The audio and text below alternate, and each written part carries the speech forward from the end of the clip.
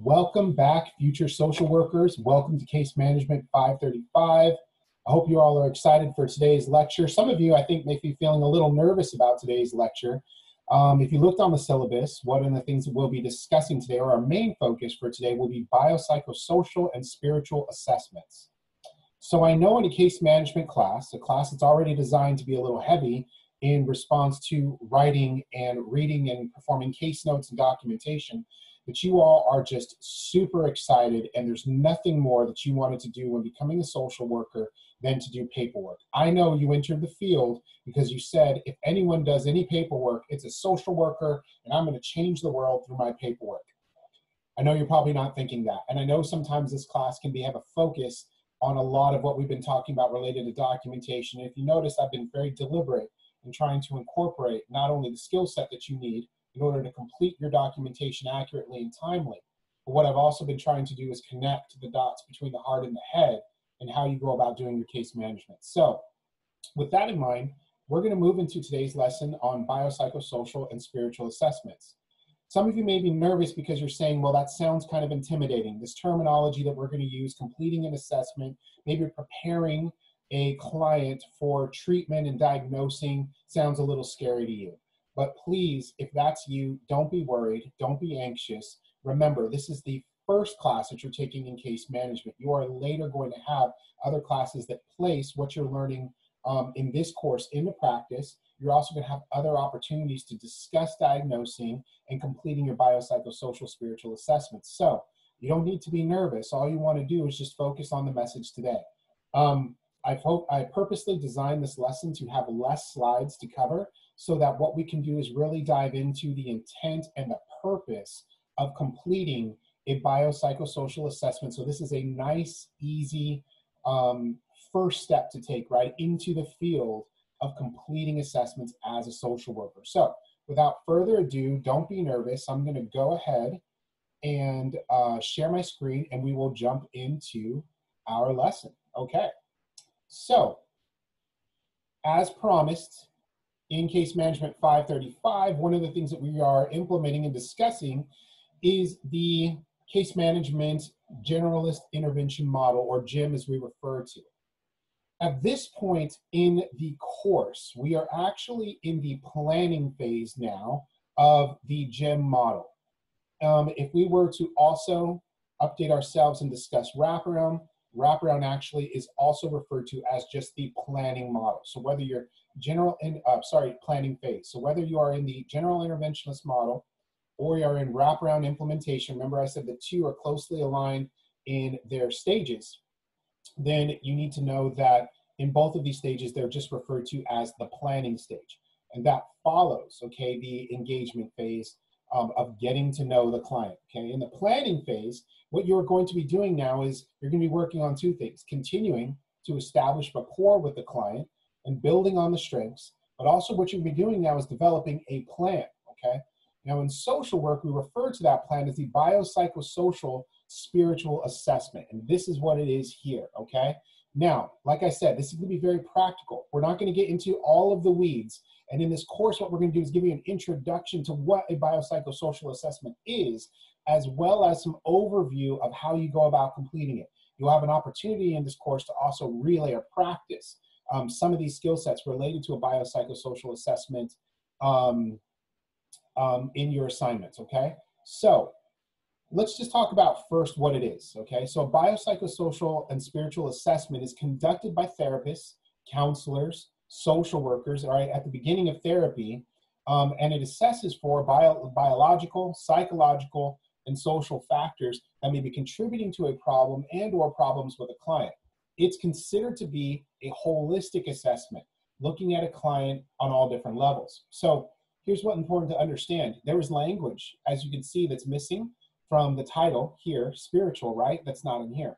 The reason I did that with intention is because previously, and in some sectors of, let's say, um, secular social work, you will still encounter pockets of of assessments. And so for the sake of this lesson too, let me just go ahead and say this. I'm going to refer to our biopsychosocial and spiritual assessments as purely just assessments, okay?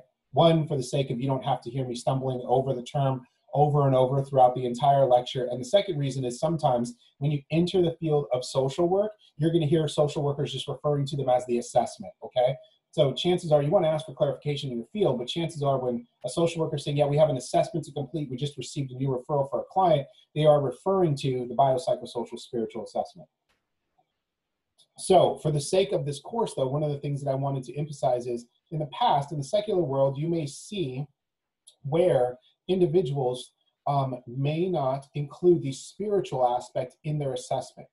Now, the reason why we're referring to the spiritual um, aspect in this course, one is because we're CBU, right? We also understand that the aspect of our spirituality and our religious practices deeply impact the decisions that we make, our worldview, and our way of coping sometimes with stressors that are out in the real world. It is a part of our identity, and therefore, it's important to acknowledge. However, it's also important to acknowledge, as research has shown, and many organizations that are utilizing social workers to complete assessments are including the spiritual now. So, some of you may enter into the field and you may start conducting your assessment, and you'll notice on your form that there's no spot for spirituality. If that's the case, it's still important to understand in your case planning process where there won't be a place on your assessment for it. However, what I want to prepare you all for is that there's an increasingly larger number of individuals incorporating, of organizations incorporating the spiritual component into their assessment because they do understand the impact of spirituality on an individual's identity. And if we are to consider that we're conducting our assessments in a holistic manner, right, considering multiple levels of a person's identity, then this is important to consider, okay?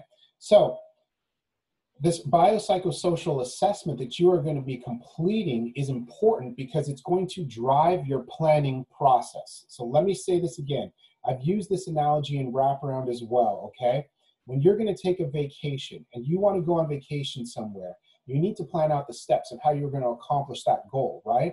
So some of you may have timeshares and maybe you pay into vacation, so it's a mere matter of reserving a, uh, a location, right?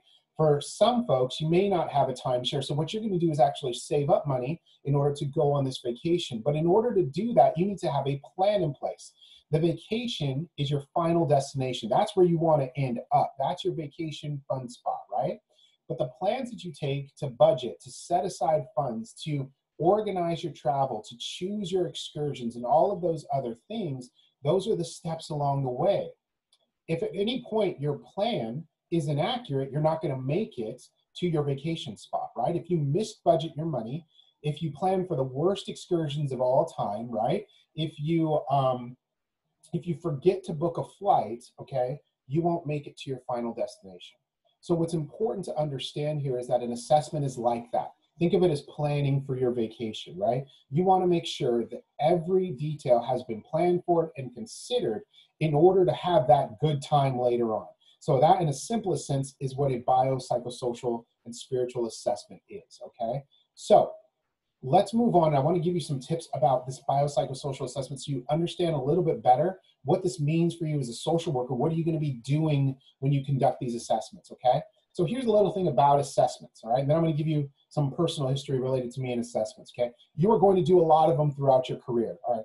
Part of what we do as social workers, just to prepare you on this, is that when you receive a new client that you referred, whether that's a foster youth or it's child and um, juvenile placement, uh, juvenile hall, or it's an individual without housing, it's an individual without citizenship, it's an aging youth, it's someone in a hospital, you are going to be responsible as a social worker for conducting assessments with your clients.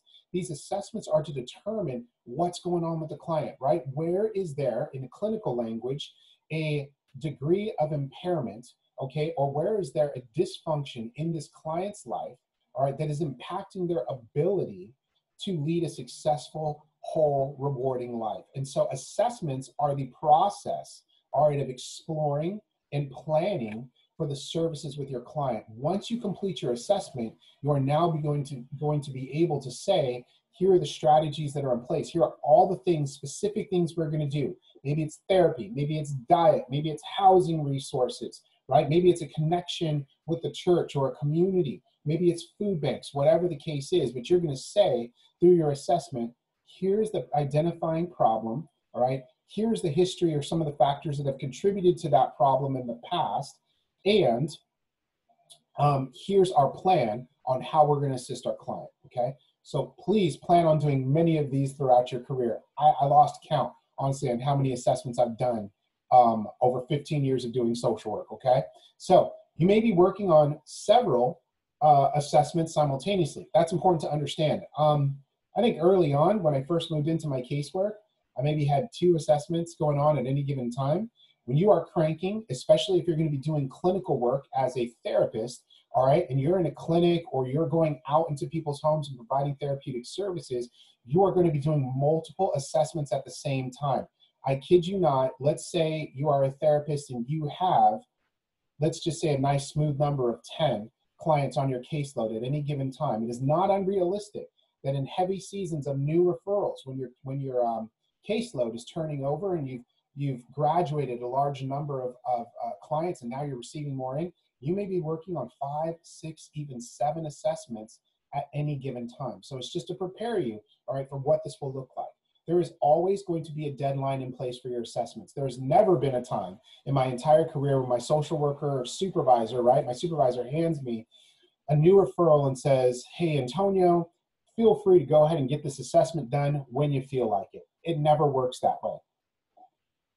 In fact, most of the time, what's going to happen is they're going to say to you, I'm sorry, this referral came to us late. You've actually got less time to complete your assignment, your assessment. The reason why I want you to, to pay attention to that is not to scare you, but I want you to have a realistic vision that when you're completing these assessments, it's not like maybe what's going to be in the movies when you see social workers portrayed as they're taking all this time to get to know the client and they've got you know three months of work in there and, and now they're sitting down and completing their assessment. I wish sometimes we had that right? But the reality is is that especially when you're providing clinical services that are funded by Medi-Cal or Medicaid as we refer to it, right, you're going to have state deadlines, county deadlines, and agency deadlines that you need to meet to complete this comprehensive assessment, okay? Now, whether you are clinical or community focused, you are going to complete assessments, okay? So I was actually more community, more macro focused in my work, okay? But that still meant I had to conduct an assessment. I was still providing groups, uh, by, um, psychoeducational groups to children. I was still working with children and families. And so my assessment skills were utilized not only as a wrap facilitator, but also within the agency I was working with. So some of you may be thinking that you are going community and you're saying, well, I don't plan on doing therapy. Um, so therefore, I don't need to really worry about doing a biopsychosocial assessment. Uh, that's not going to be the case. Whether you're doing therapy and working as a clinician, or whether you're not, but you're still serving clients in the capacity of resources and general case management, you will be completing biopsychosocial assessments. Okay, so please hold on to the lessons today. Don't tune this out because what I'm going to give you today is essential. Is going to be essential for the rest of your career. Okay. Finally, I want to give you two words of encouragement. Don't be afraid of completing a biopsychosocial assessment. It sounds intense when you first look at a form um, for an assessment, you may feel overwhelmed. It's going to have tons of boxes to check and to write. And you're going to say, I have to research all of this. And where am I going to get this information? How am I going to do this? I don't want you to worry. Okay. In fact, the more you do, the better you will become. Okay. When I look back on some of my earlier days of completing assessments right out of um, school and learning, okay, the process of this in real time, I thought to myself that I had it all down the more that I did assessments, the more I realized there could be more deliberate ways of asking questions and, like I say, more deliberate ways of building rapport with my clients to extract more from the assessment process. All right. And so you will just become better at assessments the more you do them. So please don't feel intimidated by this process. Social workers do assessments. Okay. Some are sharp and exceptionally great at them, some have a place to grow. We all have room for improvement. Okay. So what I'm going to do is when I talk about assessments today and give you this overview, I'm giving you the overview in the most um, um, boiled down and practical way, all right, with the years of experience behind me to hopefully help you understand on a more practical level what assessments are used for and how they benefit clients so you don't have to struggle like some other social workers that may be entering the field uh, right away, okay? So let's talk about a biopsychosocial spiritual assessment. It's a long name, right? But the idea behind it is it's broken up into these categories. So if you notice, biological, psycho, social, spiritual assessment. There you go, right? And so the idea behind this is when we receive a new client and we have not worked with this client before, whatever their background, whatever the group is, we have to, as a social worker, not just pick up with the plan that's been put in uh, before us. Maybe they're being transferred from one clinic to another. And as a result, they're coming into your hands. And so an assessment's already been done. You are more than welcome to review that previous assessment. But I highly encourage that you never cut corners and simply copy that assessment over into yours. You will miss something, I guarantee it. On top of that, as social workers, sometimes we have different perspectives from other clinicians or counselors that have done their work. We've been trained a little differently. And as a result of that, we may pick up on some things that maybe weren't as important or weren't as high in the priority as other counselors. That's not to knock other professions, but the idea is that you're bringing a different lens and perspective to the table to your client. So never cut corners, okay? The idea behind this is in your assessment phase, you are going to be sitting down and what we refer to as interviewing a client or speaking, connecting with your new client, right? Remember what I talked about, it's important to build relationships because in the process of conducting your assessment, you are going to ask a ton of questions. You're also going to read a lot of paperwork. You're going to read up on the client's history. Many times the files that come with our clients are going to have um, previous uh, reports conducted by a physician. They're going to have IEPs in there. They are going to have um, other team meetings and staffings from other social workers and professionals in the past. You're going to need to review that information so that you can build on your assessment and complete your assessment on its template, okay? And so I'm going to do this. Let's go through each of these very briefly. And what I want to do is draw down on some of the information that you're going to be looking for when completing your assessment. What's important to understand is once you have your biopsychosocial assessment completed, this will then eventually lead to, if you're doing clinical work, you're diagnosing.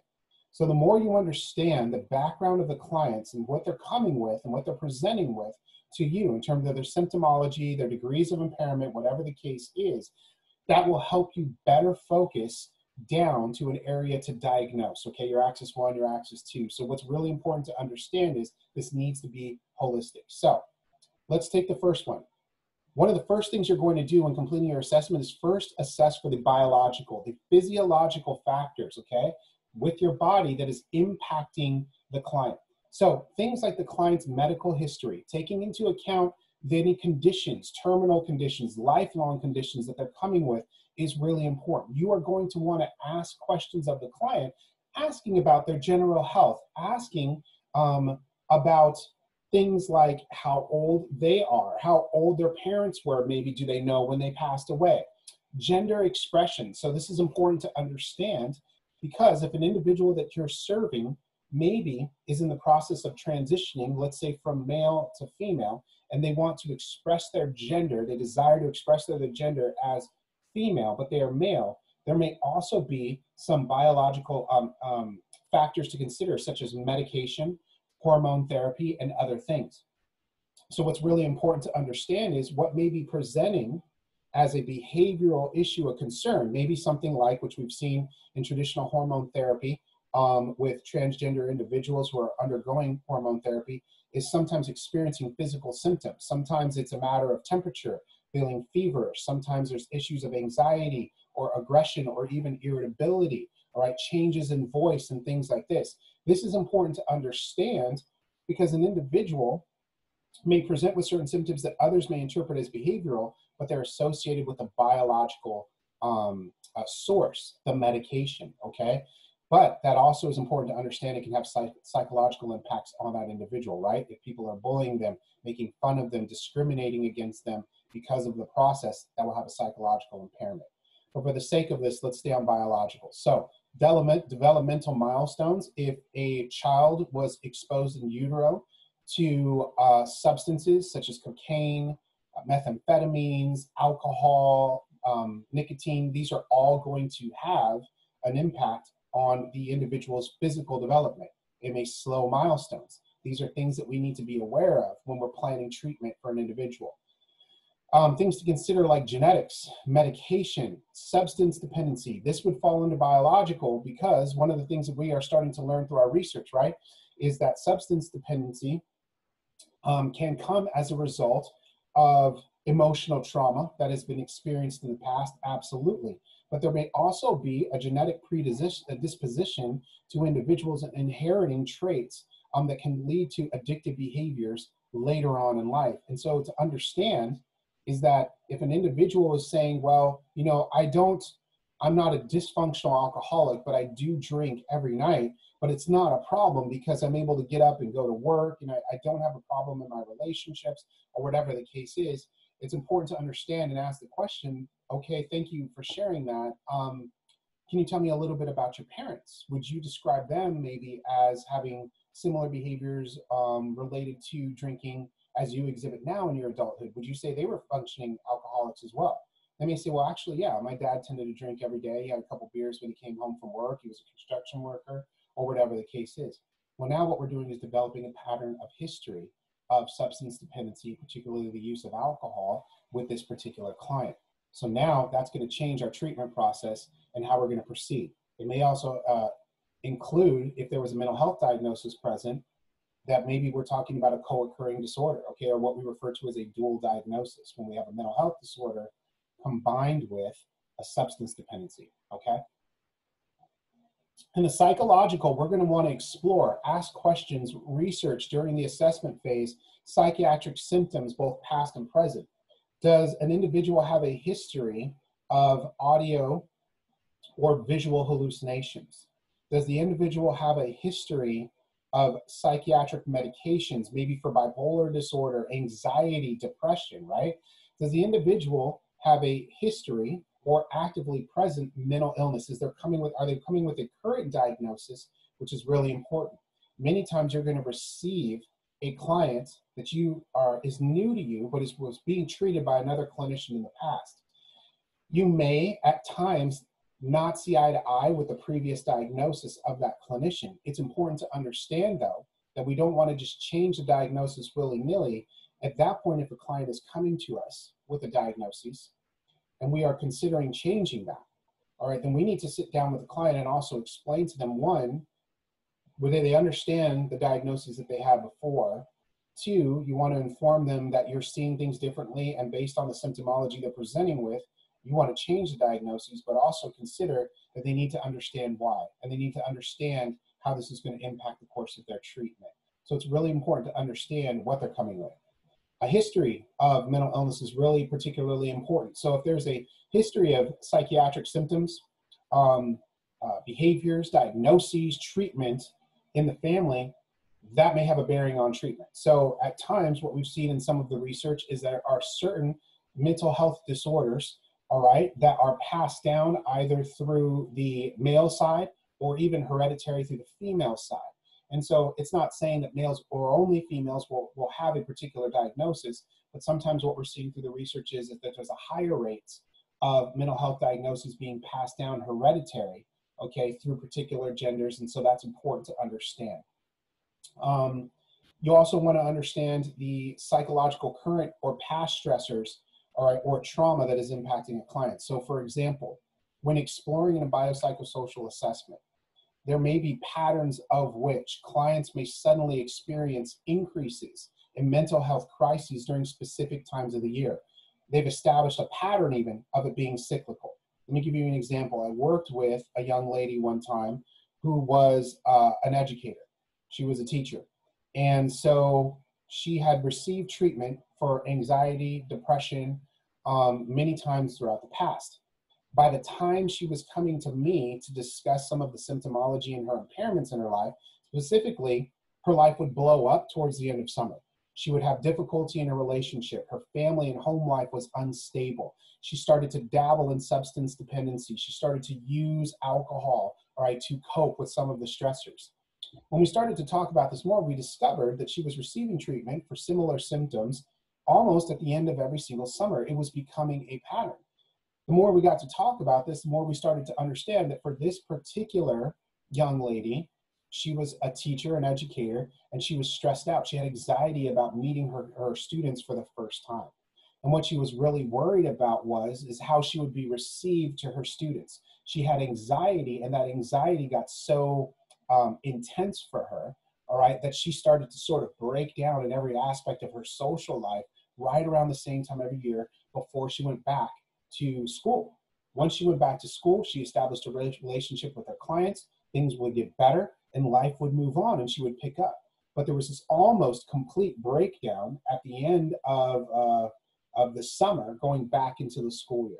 And so this is how a history of traumas or stressors comes into play when planning. So when we were talking about a case plan, we were talking about treatment, what I needed to do was make sure that she was linked with a therapist who was going to be able to talk her through the sense of awareness and positive coping mechanisms so that she understood one, that she was feeling anxious, two, it was associated with returning to school, and three, here are some coping mechanisms you can use, right, to, to sort of um, cope, for lack of a better word, right, with these stressors, the worry, the anxiety that you're feeling about returning to work. Okay, so this is why it's important to discuss not only what are the current symptoms, but have these symptoms happen before. Okay. Now, when we're exploring social aspects of a client's identity, of their life, of their history, you want to consider things like family relationships and history, right? What has that been like? Some clients are going to come to you and they have literally burned every single bridge, every single relationship they've had with a cousin, an aunt, an uncle, mom, dad, brother, sister has been burned. And as a result of that, they are feeling isolated. Well, anyone would feel isolated, right? If you didn't have someone positive and connected um, with you that loves you and cares for you in your life, right? Living situations, environments. Is this person living in a home? Are they living in a, in a house, in an apartment, right? Are they living in their car? Are they couch hopping from one place to the other? That's going to drastically in, in, um, impact that individual's mental health and well being. And so, what's really important to understand is the living situation. Sexuality, different, okay, from gender expression, right? So, one thing that's important to understand is an individual may identify as male, female, or none of the above, okay? But also who they choose to love, who they choose to engage in a relationship with is really important to understand. Let me give you an example of this because some of you may be thinking, well, how are the two necessarily different or why would they misalign? Let me give you an example just very quickly. So, a young male, okay, teenager, can come and present to you and say, um, I present as what I believe to be a heterosexual, all right, um, cisgender male. All right, so I identify as male with the anatomy that I was born with. I believe that I am attracted to females. However, okay, they may say to you, I've never been intimate with a female. Okay, the problem is at a young age, the teenager may have been molested or sexually assaulted by a male caregiver as a result of that, the only intimacy, and I shouldn't say intimacy in this case, but the only physical um, um, sexual encounter that this young male has had has been with another male and in a warped, disfigured sense of what a relationship would look like. And as a result of that, the male may have, um, the young man may express themselves as saying, I believe that I'm attracted to females, but I'm also very conflicted psychologically. I'm conflicted because during my abuse cycle, my abuser stated that I was gay, and this is why he was acting out on me. And so sometimes you'll have a young man coming to you and saying, I believe that I'm sexually attracted to a female, but how can I know that when I've not had an intimate relationship with a female and I have been told by my abuser in the past that I was gay? So you see how the two may not line up. Okay, so that's very important to understand how one category, such as social, can impact the other, such as psychological. Okay. Um, history of abuse, for obvious reasons, we want to know. Some of you are already familiar with the ACEs study or the Adverse Childhood Experiences study. If you're not, don't worry, you will cover that extensively in other classes.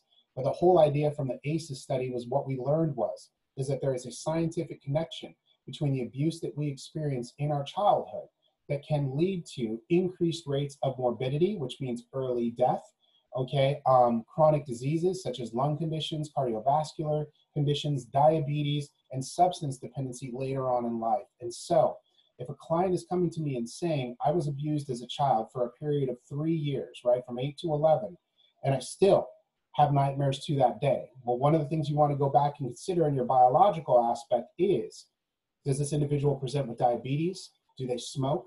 Do they drink as a as a um, as a coping mechanism to this? Are they not getting enough sleep? Do they have a sleep disorder? Whatever the case is, are they overweight? Okay, as a result of these issues.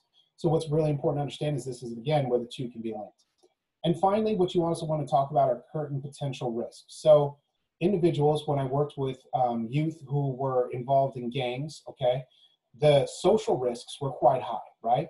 So a child may not feel like they are in danger. Sometimes the kiddos that I was working with had become desensitized to the level of violence that was around them, both in their neighborhoods and in their households, um, due to um, gang relationships. But what's important to understand is, is that the risk is still there.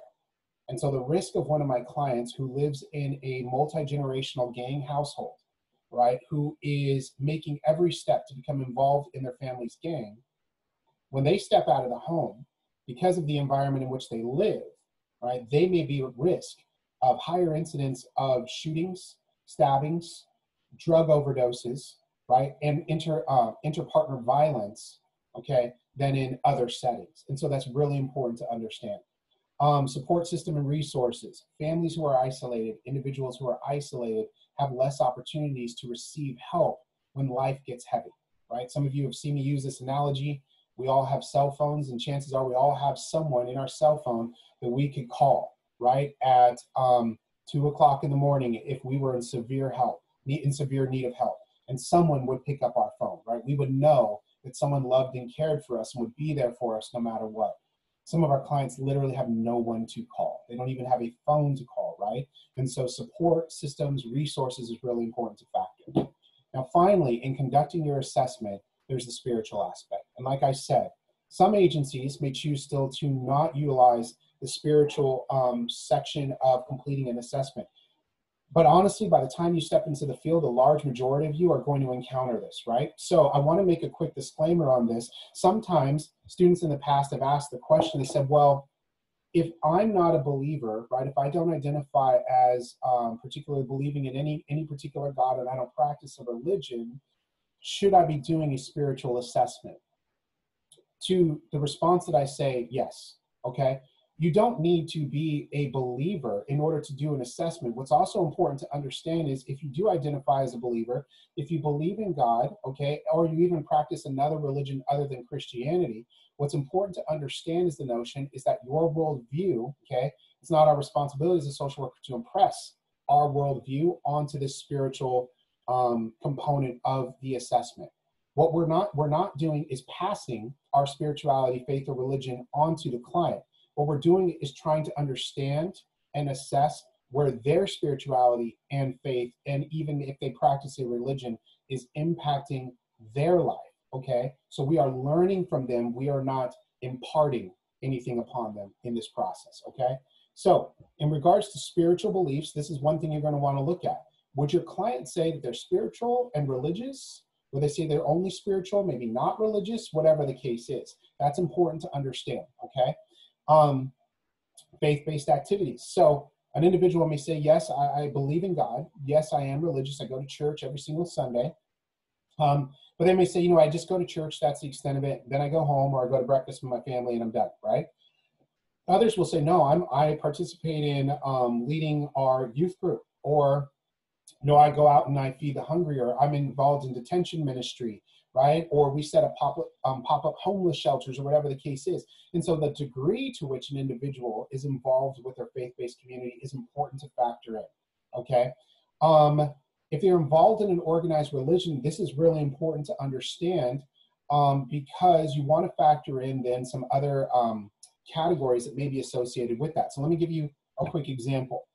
Um, if a person is diabetic, okay, so in their assessment, you've covered under biological, that they have diabetes type 2, right? And so I'm using myself as an example um, so, so that you can kind of see where this comes into play. Okay, diabetes type 2, right? And let's say they're controlling their diabetic symptoms not through medication, but through just diet and exercise right now. So you've got it in check, you're doing well, right?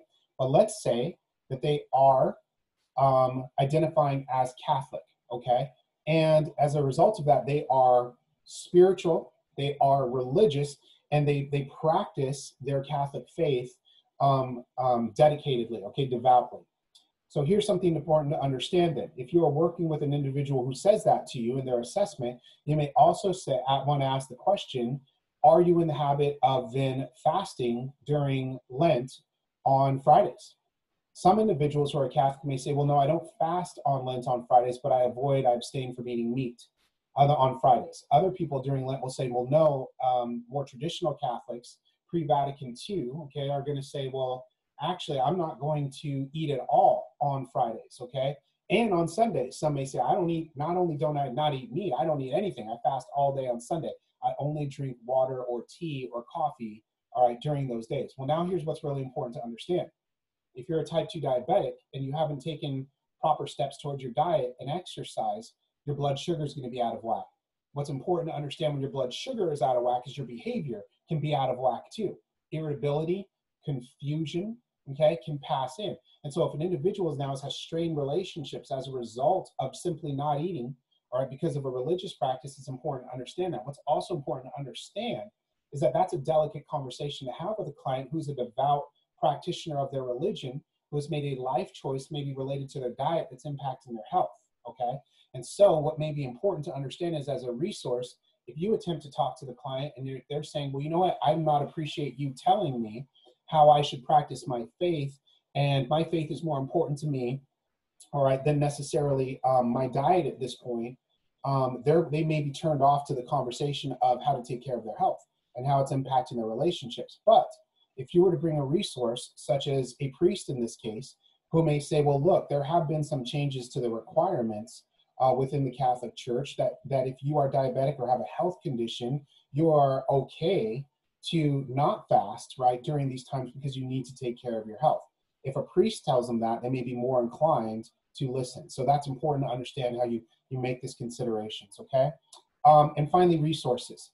Faith-based communities, whether it's Catholic, whether it's Protestant, whether um, it's Muslim, all right, or whether it's Jewish or whatever the case is, in a faith-based community, there is a wealth of resources available to our clients, right? So sometimes that's through clothing, food, rental assistance, right? Financial, but also the spiritual comfort, the spiritual support that comes with being part of a faith based community. So I hope you understand that as we move through these, and I'm sorry I took time on this, but like I said, there's less slides to go through today. I hope this really helps you understand that when you're in the process of asking questions in a biopsychosocial and spiritual assessment, these are the issues that you're trying to understand with your clients. I hope you also understand then that there can be a challenge, right? When you're meeting with up to six clients in a week and you're in the process of gathering this information, how it can be a challenge to um, to to remember, right, and to keep track of all this information. So just something I hope that you'll find helpful as you move through your careers. Okay. So I want to provide you with, now that we've gone through the basics of the assessment, um, what you're looking for, the type of information you're trying to provide. What I want to do is just give you some quick tips on completing a comprehensive assessment. These tips here have come from me personally in completing biopsychosocial and spiritual assessments in the past. Um, I have learned that if you can adhere to these tips, not only can you complete more comprehensive, better quality assessments, but you'll be able to do them in a more efficient way. You'll be able to do them in less time, which means that you as a social worker will be freed up to do other things all right with your clients. So that's important to understand. So here are some quick tips. One you always want to start with relationship. Remember what i've said in this class is that this course is about balancing the head and the heart right? So you're going to feel overwhelmed sometimes when you got to go through all this you're going to want to ask the clients and start rattling off questions can you tell me about your medical history um, what what at what age did your parents pass away? Okay, do you um, do you identify yourself as male or female, or are you cisgender? What is the case? Uh, you on any medication? If you start flying through the questions, if you start doing it in a way that is absent of empathy, absent of relationship and trust, your clients won't open up to you at all. The process of conducting your assessment is almost futile because you're going to receive minimal information from your client. So when I say that social work, case management is a combination of the head and the heart. Always start with your heart, all right? Go in, introduce yourself, take your time, let them see you as a person, right? Walk them through the process of saying, has anyone maybe completed an assessment with you before?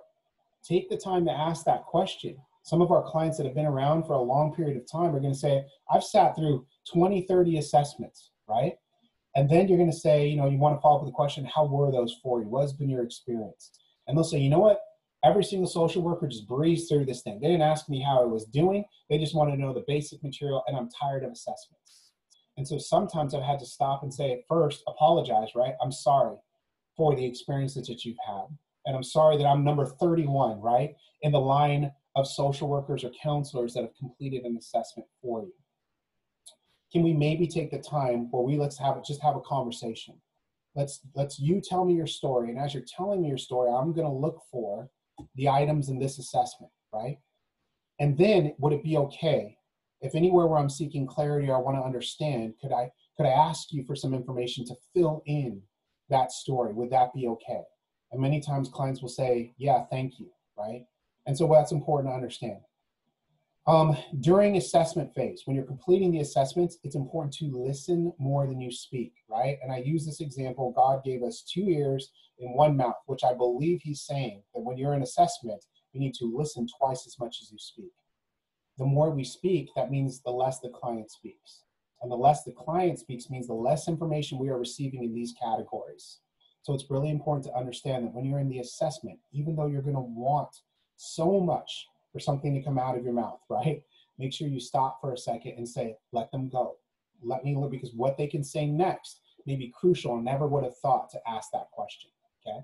Always be thorough in your questions and ask as many open uh, uh, open-ended questions as you can. Um, yes, you're going to want to ask some fairly closed questions, right? You're want to ask yes or no, right? Does your family have a history of substance abuse? Well, then they may say yes. It's not enough to just click yes and move on, right? You're going to want to ask an open-ended question, all right? Like, can you tell me more about that, please? Right? That's the next item on here, right? Tell me more about that. And they'll say, well, you know, my, my mom, she died of a cocaine overdose. And my father drank a lot. And, um, you know, he never smoked weed, he never smoked cigarettes, but he passed away of cirrhosis of the liver. Okay, so these are things that are important all right, to understand. Um, and finally, one question that I always follow up with towards the end of my assessments that has helped me over the years. I've come across some amazing information that clients have not told me that I think is really important, okay, to understand is ask the question, what did I forget to ask that I should know about you or your family history, right?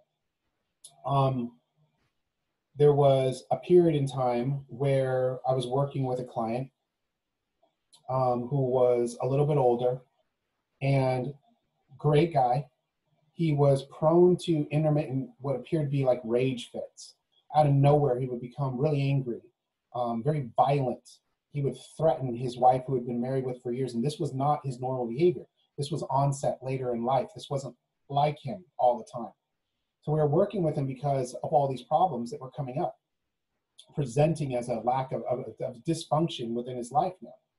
And at the end of the assessment, we conducted all of our biopsychosocial categories, feeling good, pretty, pretty good about it. And at the end, I asked, "Is there anything that I forgot to ask that I should know about you and your family history?" And you know, he said, "Yeah, you know what? Um, I, I forgot to mention to you that my father, all right, he's older, he's in the hospital, he's dying of dementia." And when he said that, I said to myself, "Oh my gosh." I need to go back. We need to make sure that this man, my client, receives a checkup because dementia can be passed down, okay, from one family to the next, from family member to the next, hereditary. Another thing too is important to understand is that at certain phases of dementia, irritability, rage, okay, can come forward. Later on, it was um, diagnosed that he had early stages of Alzheimer's, similar to his father. Right, and medication was helping alleviate some of those symptoms for the time being. So, what's really important to understand is that basic question: What did I miss? Okay, what am I missing um, that you think is important for me to know? Okay, so just some tips on completing an assessment there. All right, finally, we're going to start to move forward uh, towards the end of our lesson now. And to tie all this in, I know I've thrown a lot at you.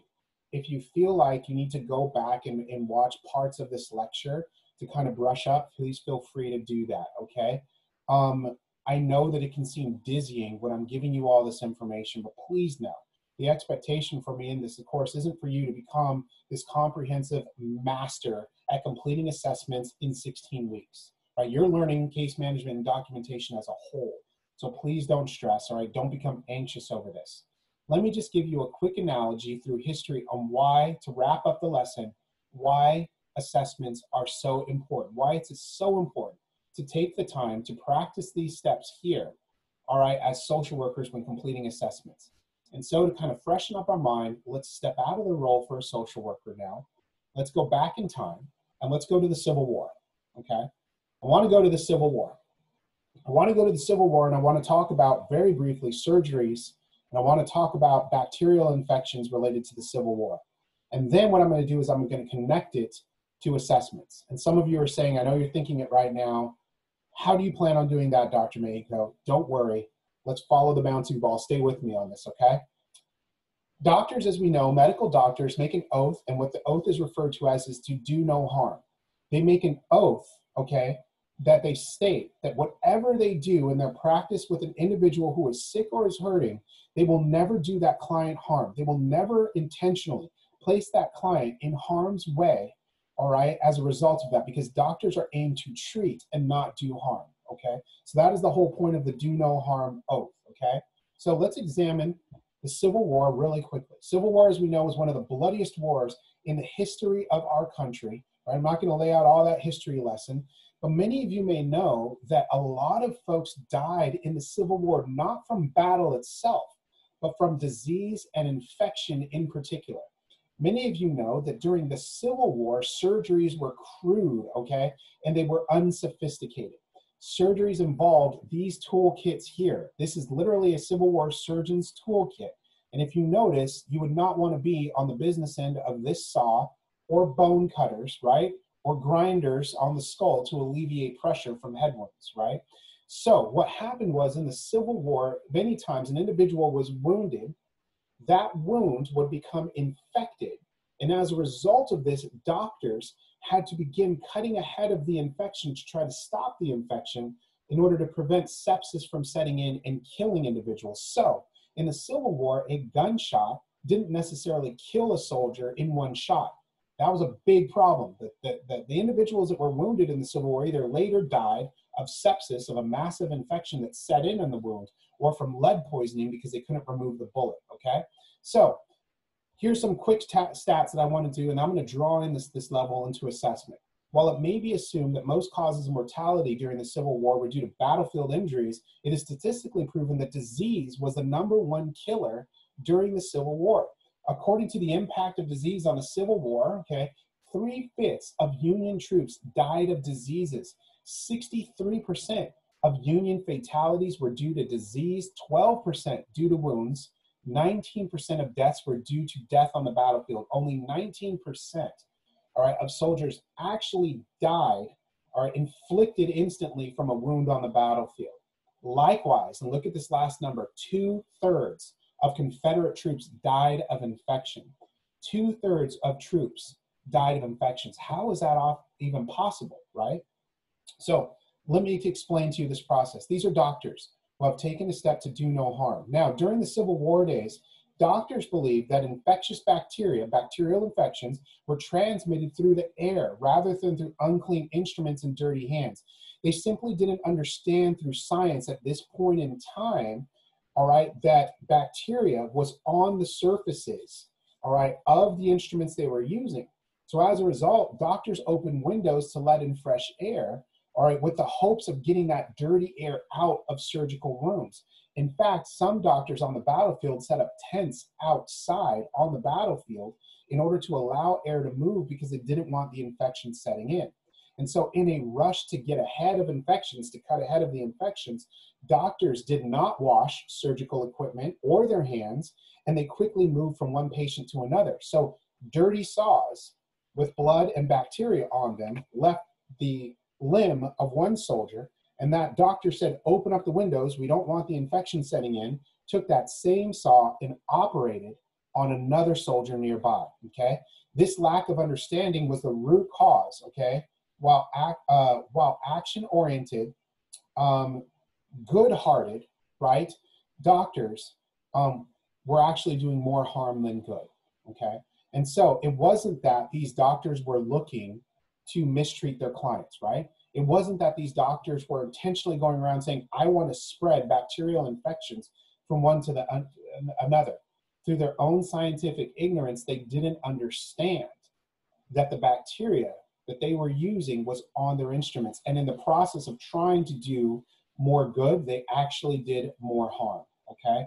That's the analogy that I want to make, all right, to our whoa, don't know what happened there. Hold on one second. Apologize for that. Look at that technical difficulty, right? Sorry about that. Okay.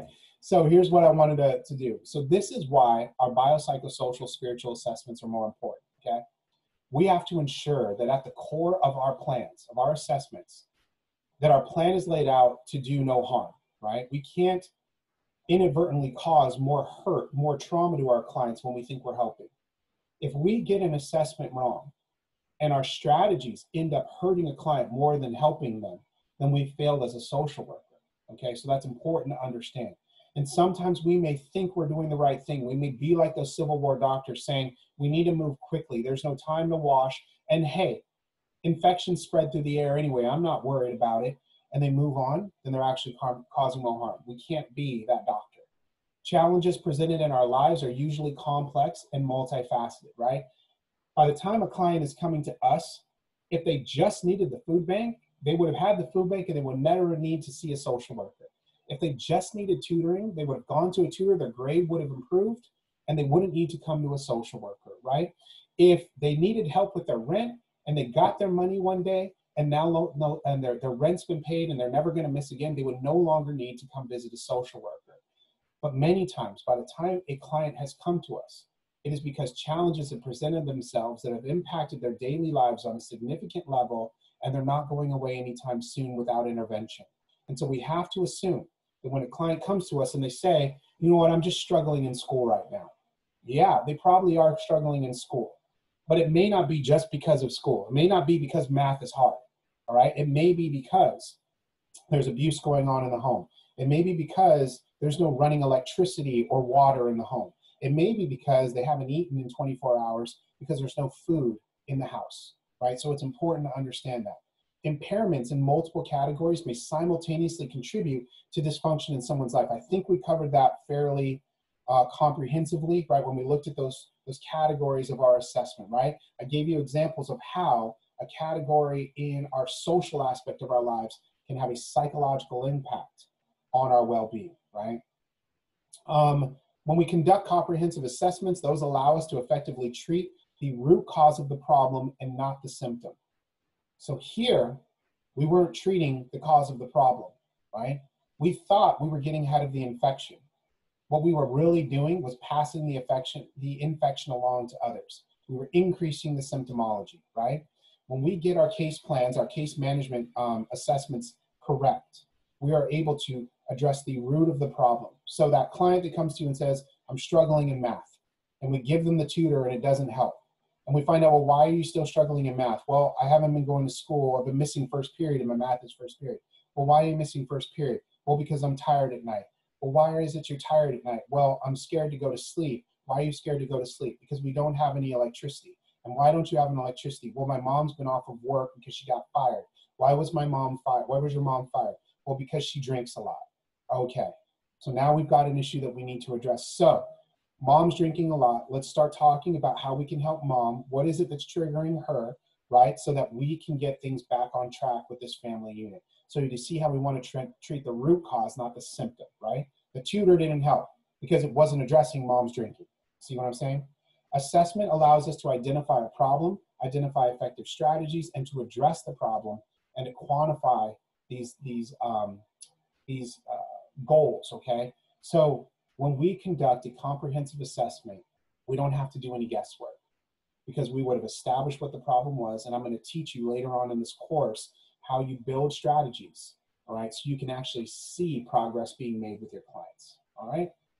So I know I threw a lot at you. Thank you for sticking with me, all right? We're going to go ahead and close out today's lesson with our centering activity. Let me go ahead and make sure I just bring up my timer here, and then we'll move into our centering for the end of the day. So today's centering verse comes from Psalm, okay, Psalms. I will sing your strength. I will sing aloud of your steadfast love in the morning. For you have been to me a fortress and a refuge in the day of my distress. Right?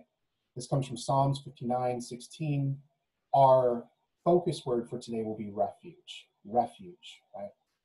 So, um, a lot of times, I don't know if you're like me, but um, sometimes, you know, especially when you're going through a master's program like this, it can feel like you're drinking water through a fire hose, right? like you've got that that spigot on and you are just being flooded by information deadlines due dates whatever the case is. It's always important to kind of just keep in track in our mind right now the expectation that's at hand. So i'm not going to speak for other professors at other classes. If you're feeling overwhelmed with the material that you're receiving in case management here's what i want and ask for you to put in perspective right? The expectation here is not for you to leave as a finished product from this course. The expectation is for you to dip your toe right into the pool of case management and documentation right? So you can feel the temperature of the water right? I'm not expecting you to be an expert not expecting you to be perfect okay? So when i throw all this information at you it's recorded in a lesson so you can go back and you can review it later right? If some of you need to watch this five times you you watch it five times and you won't be judged for it right? And so sometimes it's important to understand you're not striving for perfection in this process, right? You're just getting exposure. And then, second, what I'd ask you to consider is where is your refuge, right? Where are you able to gain strength and perspective in what you're being asked to do while you're in this program, right? So consider from Psalms what this scripture verse is meaning to you when you're centering and focusing on the fact that as you're going through all of this, that God is with you right now in this moment. I will sing your strength. I will sing aloud of your steadfast love in the morning.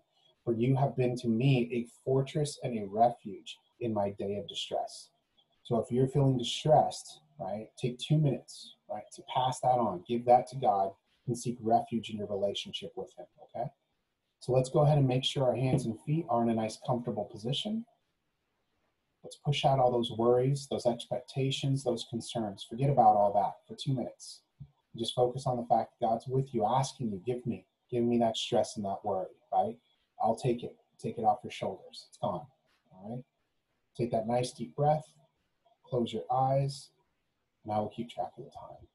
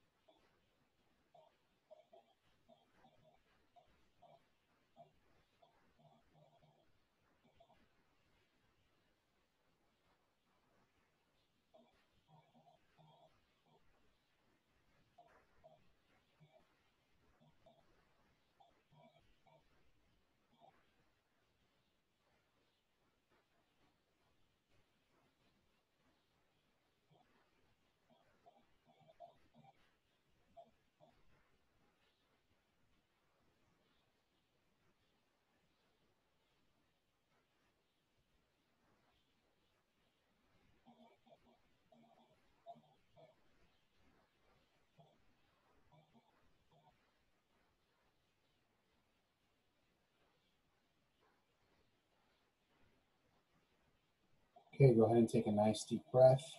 Open your eyes, come on back. Genuinely, thank you all so very much. I appreciate you hanging in there. I appreciate you sitting through all of this information. I know it seems like a lot now, but what you're learning here will make the difference for you in your career. So thank you. Thank you for sticking with it. Quick reminders please check Blackboard um, for any assignments and homework that you've got coming up. Reach out to me with any questions. If you are feeling like this right now, right? And you're like, by golly, Dr. Mejico, I still need answers. I don't understand. Don't feel bad. Reach out to me. We'll connect via email. We'll figure it out. Um, if you want to meet in person, we can do that too. Okay. Know that I am praying for you. Know that you will finish this this semester strong, and that you're in my thoughts and prayers. Okay. Thank you all so very much. I appreciate you all. See you next time. Thank you.